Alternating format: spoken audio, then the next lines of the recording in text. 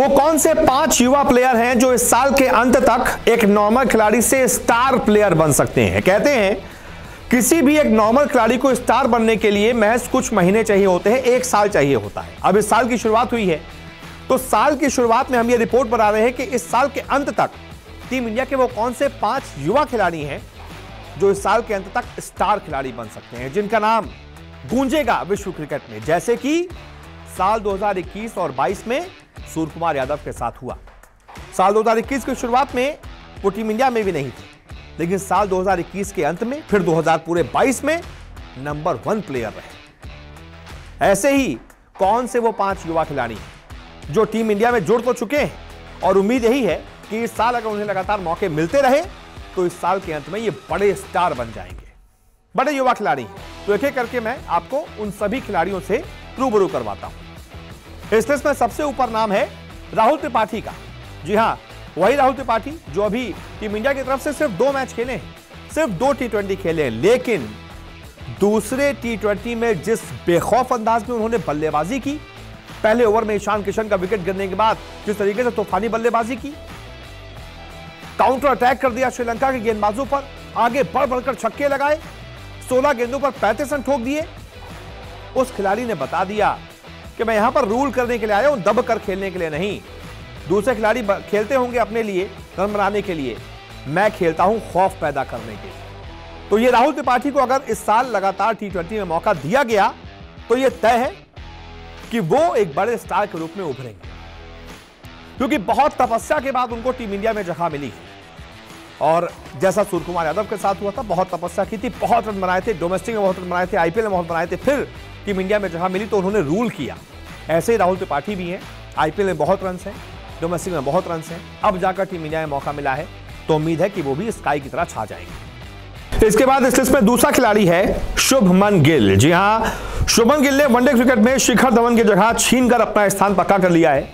और आज जिस तरीके की उन्होंने पारी खेली, साठ गेंदों पर जो सत्तर रन बनाए हैं, वो 16 इनिंग्स वनडे के बाद टीम इंडिया के नंबर वन खिलाड़ी बन गए हैं। सबसे ज़्यादा रन बनाने वाले खिलाड़ी शुभमन गिल बन गए।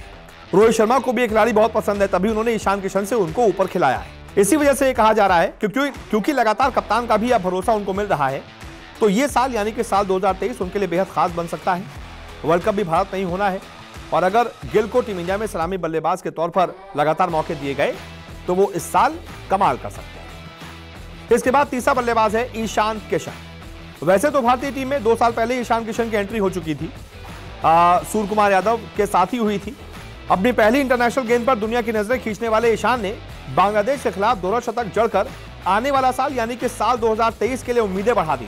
यानी कि ये साल वो ये बता रहे हैं कि वो शानदार प्रदर्शन करेंगे, क्योंकि पिछला साल उन्होंने अंत बड़ा अच्छे तरीके से किया है, दोनों शतक के साथ किया ईशान को वनडे में शायद कम मौके मिले, लेकिन टी में उन्हें लगातार मौके मिलेंगे, ये तय वो हार्दिक की टीम में लगातार ओपनिंग करेंगे, ये तय इस वजह से देखना दिलचस्प होगा कि वो कैसी बल्लेबाजी करते हैं और क्या इस साल के अंत तक अपने आप को स्टार वाली लिस्ट में शामिल करवा पाते हैं या नहीं। इसके बाद इस लिस्ट में अगला नंबर है उमरान मलिक का। जी हाँ अपनी रफ्तार से पहले बांग्लादेश पर उन्होंने कहर पर पाया, फिर भारतीय पिचों पर भी बल्लेबाजों का होश उड़ाया। इनके लिए भी साल 2023 बहुत खास होने वाला है। पिछले साल ही उन्होंने टीम इंडिया से डेब्यू किया। सनसनी भारत की नई सनसनी, लोगों ने इन्होंने कहा, आईपीएल में तो शानदार गेंदबाजी कर ही रहे हैं। अब इन्होंने पिछली दो सीरीज़ में जिस तरीके की गेंदबाजी की है, श्रीलंका के खिलाफ टी में खास तौर पर, और फिर उनको वनडे में खिलाया जा रहा है। ये कहा जा रहा है कि ये साल अगर उमरान लगातार अच्छी बॉलिंग करते रह गए, सीखते गए, अपने आप को अपग्रेड किया तो इस साल के अंत तक उमरान एक स्टार गेंदबाज के लिस्ट में शामिल हो जाएँगे। और कोई बड़ी बात नहीं कि उमरान इस साल के अंत तक वो जो सबसे तेज गेंद फेंकने का रिकॉर्ड है, वो भी तोड़ दे। और उसके बाद आखिरी नाम आता है इस टेस्ट में, मोहम्मद सिराज का। ऑस्ट्रेलिया के खिलाफ हो, ऑस्ट्रेलिया की धरती पर हो क्या शानदार उन्होंने गेंदबाजी की थी। और तभी से वो पूरी दुनिया की नज़रों में आ गए। गाबा का घमंड तोड़ने में सबसे अहम जो है, रोल सिराज ने ही निभाया था। पाँच विकेट लिए थे। वहीं से उन्होंने बता दिया था कि वो क्रिकेट में कुछ बड़ा करने के लिए आए लगातार उनको अब वनडे और टी में भी मौका दिया जा रहा है। और जिस तरीके से पहले वनडे में भी उन्होंने श्रीलंका के बल्लेबाजों को, दोनों ओपनर्स को आउट किया, एक का तो डड्डा ही ऐसा उड़ाया, उसको समझ ही नहीं आई कि गेंद कैसी थी। तो सिराज लगातार अपने आप को अपग्रेड कर रहे हैं, वनडे टी में भी अच्छी गेंदबाजी कर रहे हैं, टेस्ट में तो अच्छे गेंदबाज वो हैं।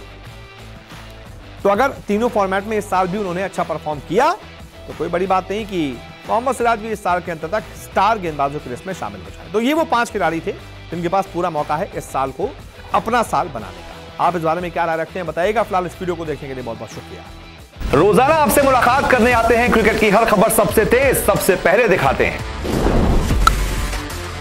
खबर हो, विवाद हो इंटरव्यू हो या हो कोई इनसाइड स्टोरी न्यूज़ 24 स्पोर्ट्स पर हर अपडेट सबसे पहले मिलेगी। इसलिए हमारे YouTube चैनल को सब्सक्राइब करना ना भूलें और Facebook पर देख रहे हैं तो पेज को फॉलो ज़रूर करें। क्रिकेट मतलब न्यूज़ 24 स्पोर्ट्स